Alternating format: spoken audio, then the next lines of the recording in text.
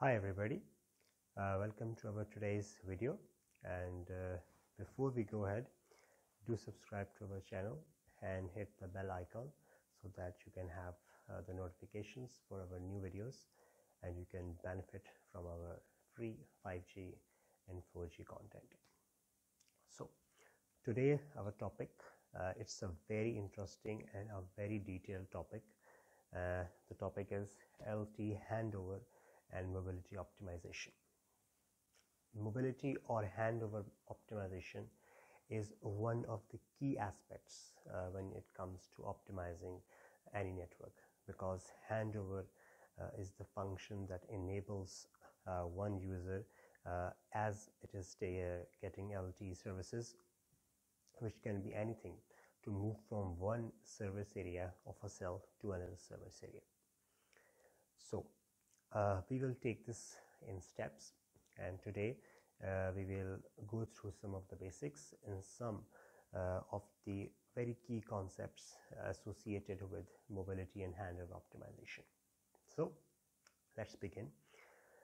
The first uh, thing uh, to note in LTE is that uh, as compared to WCDMA where we have a soft handover again in LTE we have a hard handover so what does hard handover means? A hard handover means that whenever a UE is handed over from one UE to uh, one uh, E node B to another E node B uh, there the connection from the first E node B is broken and then the UE connects to, a, to the other E node B. So there is no soft handover as we had uh, in WCDMA where we had the concept of active set and etc. So that is the first thing. Then uh, we have the concepts that is the basic concept of handovers that is measurement configuration. Then we have measurement reporting. Then we have handover evaluation and then we have handover execution.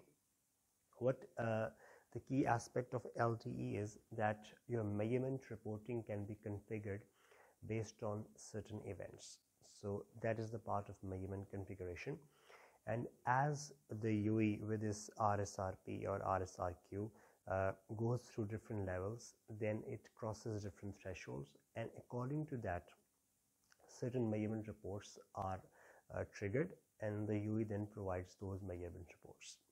So measurement configuration is basically how you configure those thresholds. And then measurement reporting is when those thresholds are uh, crossed or met then what do you report and in which format do you report? Then we have your handover evaluation. So handover evaluation uh, is done by your E node B. So once it has the measurement reports from your uh, UE then it basically sees what is the RSRP of the U of the UE uh, being served by that E node B. Then it sees the RSRP of the neighboring E node Bs and as per the formula as per the threshold as per the offset settings it then decides about the handover then the final part is handover execution and in handover execution basically you have your release commands then you have your handover command where you send the handover command to the UE so that it can hand it over to the next E node B. We will discuss that uh, in a later lecture where we have all the uh, signal flow diagrams. So this is the basic concept of handover which is divided into four parts. Then uh, we have the RRC connection management. So in LTE basically we have two states. Uh, one is your RRC connected and the other is RRC idle. So in RRC connected state, basically uh, what it means is that we have a signaling radio bearer attached to the network, that is your SRB, and basically handovers uh, are the um, are the mobility carriers in your RRC connected state. Then in your RRC idle state, basically your cell selection and reselection are the uh, carriers for uh, mobility. So that your cell can be camped in one cell and then it can reselect another cell then the other concept is types. What are the types of handovers? In LTE In LTE, we have intra-frequency handovers, inter-frequency handovers, service triggered handovers, coverage triggered handovers, subscriber triggered handovers, and we have your IRAT handovers where basically uh, you hand over from LTE to 2G or 3G as per uh, the absence of LTE coverage. So those are your types of uh, handovers. Then we have uh, load balancing handovers. So for example, if you have two uh, LTE carriers, one is your 900 uh, carrier, the other is your 1800 carrier.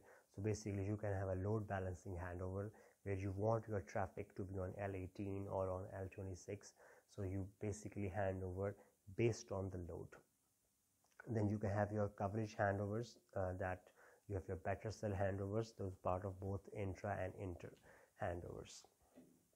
Another concept is your measurement reports. Uh, measurement reports basically uh, are the main uh, key element which basically provide the information uh, from the UE to the E node B about RSRP, RSRQ, CQI information. And based on that the formulas for the handovers are calculated and decisions are made.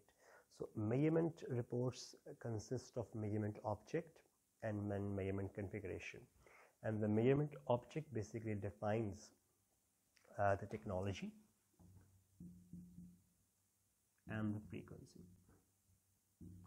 So basically if you are uh, uh, going through measurements for intra frequency LTE handover then it will define the technology as LTE and the frequency as particular that frequency.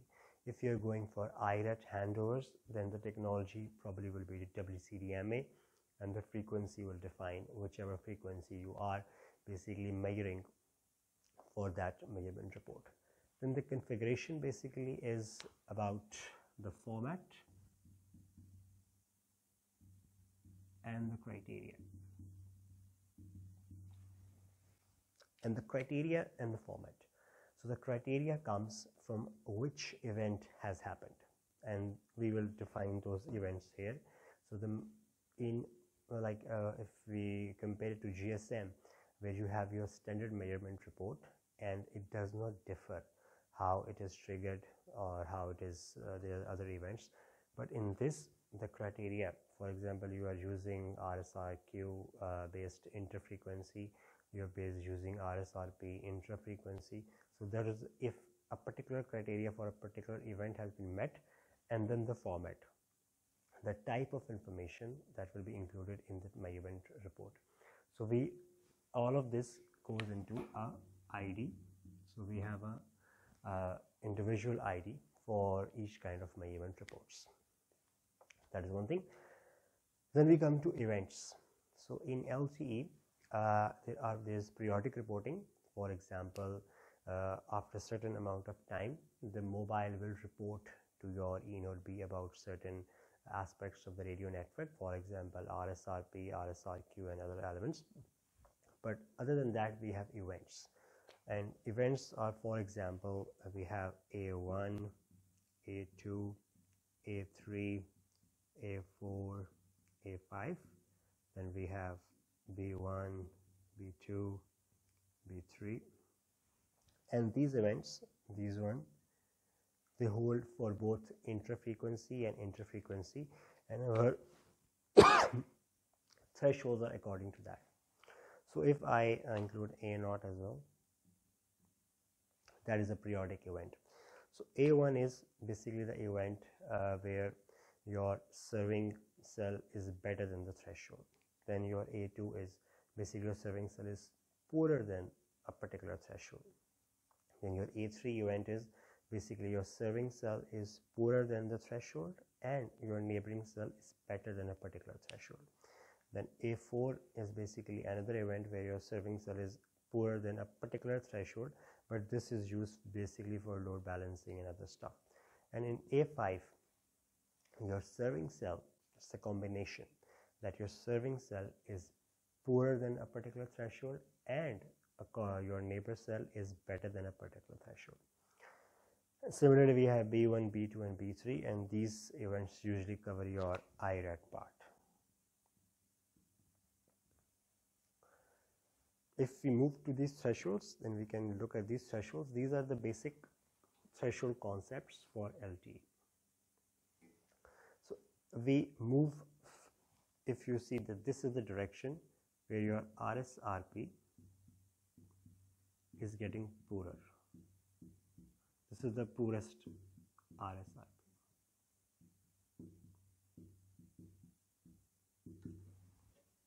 threshold 1 is defined when the mobile basically starts the measurement reporting. So if your signal level or your signal quality is better than this threshold 1, it will not be doing any measurement reporting. So that is in order to save your battery life because in order to measurement report uh, your mobile will have to come into the active state. Then we have a threshold 2A. When this threshold 2A is passed, after that we introduce a concept called measurement gap.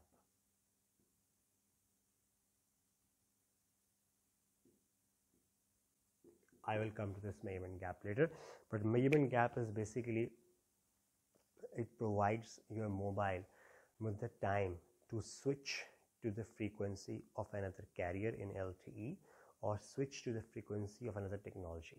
For example, it has to switch to GSM frequency or it has to switch to WCDMA frequency or it has to switch to another frequency carrier of LTE to measure on those particular neighbors.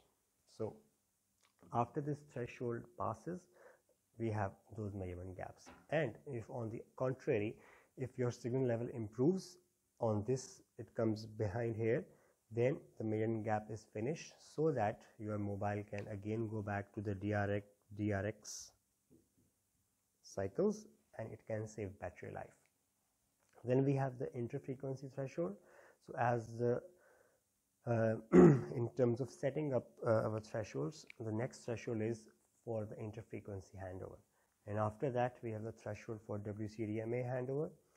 And then after that, we have the GSM. And in the end, we have the threshold when we want to release the RRC connection or redirect it to any other carrier or any other uh, uh, frequency. That is one thing. The last thing is hysteresis and offsets. Hysteresis is a concept basically used to avoid ping pong handovers basically. What happens is that if you only work on the threshold, for example, you have your threshold is neg 95. So if your level is neg 94 and it goes to neg 95, a handover will be executed. And if it comes back then another handover will be executed. So we keep a hysteresis. So this is your neg 95 and this is your neg 98 so this is a window where if a handover has happened the mobile will remain in this window to avoid ping pong handovers this is the concept of hysteresis. And for offsets, we can set offsets based on, for example, if you want to push the traffic to a particular cell, there is indoor outdoor cells, for example, there are interfrequency cells, then offsets basically are used to basically aggressively push traffic towards the cell or avoid traffic from a particular cell. So these are some of the basic concepts which we will use uh, in any training uh, that we will be publishing for LTE handover mobility optimization and uh, we will also follow up with further lectures on uh, LTE mobility optimization uh, which will give us uh, more details about thresholds, about hysteresis, about events and more importantly about the types of handovers as well. So uh, we will see you in, in our, our next video and I hope this video has helped you in understanding LTE mobility and do not forget to subscribe to our channel. Thank you.